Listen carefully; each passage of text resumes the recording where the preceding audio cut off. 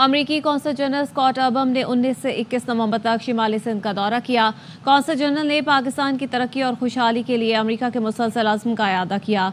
Council general ने खैरपुर में Hussainabad government higher secondary school में जदीद लैब का अफ्ताह किया। कौंसल जनरल ने कहा कि नौजवानों को ऐसे हुनर फराहम किए जाएँ जो मुस्तबिल में उनके लिए मददगार साबित हों। कौंसल जनरल ने सचल सरमस लाइब्रेरी में अकेडमी फॉर वेमेन एंटरप्रेन्योर्स के शुरा से मुलाकात की। उन्होंने Sukkur I B A works English program के तलबा तालिबात से भी मुलाकात की। गवर्नर सिंह